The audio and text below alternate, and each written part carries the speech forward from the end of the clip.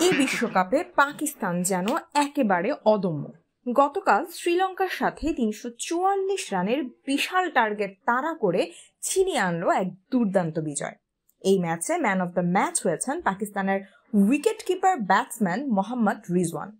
এবারের বিশ্বকাপের সূচনাটাও দারুণ হয়েছে রিজওয়ানের। প্রথম ম্যাচে ফিফটির পর শ্রীলঙ্কার বিপক্ষে পেয়েছেন ওয়ানডে ক্যারিয়ারের তৃতীয় সেঞ্চুরি।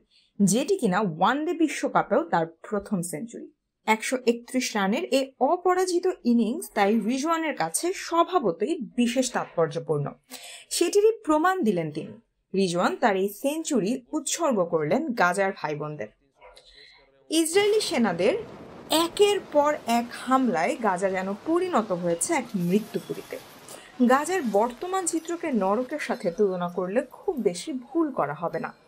গত ছ দিন ধরে চলা একটানা বিমান হামলায় ধসে পড়েছে গাজার অধিকাংশ ভবন। গাজাকে করা হয়েছে পুরোপুরিভাবে অবরুদ্ধ। খাবার, পানি, জ্বালানি, বিদ্যুতের সরবরাহ বন্ধ করে সৃষ্টি করা হয়েছে চরম এক মানবিক সংকট।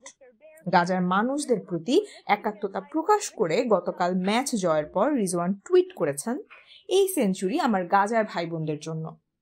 রিজওয়ানের এই বিশ্বকাপের দুর্দান্ত পারফরমেন্স এবং তার সহমর্মিতায় মুগ্ধ হয়েছেন দেশ ও বিদেশের বহু ক্রিকেট প্রেমী।